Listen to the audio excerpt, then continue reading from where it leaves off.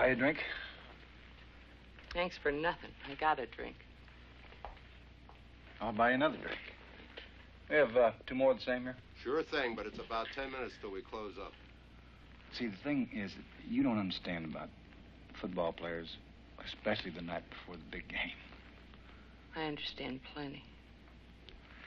See, they take it out on everybody. I mean, they make other people uh, like the opposing team, and they're usually a little bit scared of the opposing team, so they try to make people the opposite of what they are.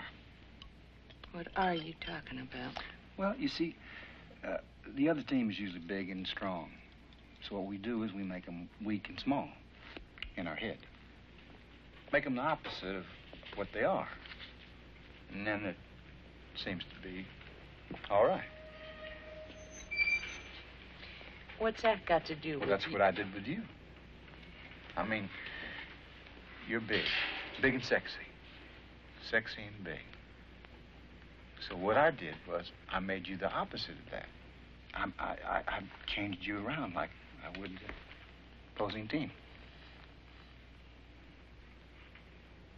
that what you did? You know what? Big women turn me on. I mean, it isn't just physical thing. I mean, big women have big feelings, as opposed to little women who have small feelings. There's nothing sexier in the world than a woman who knows she's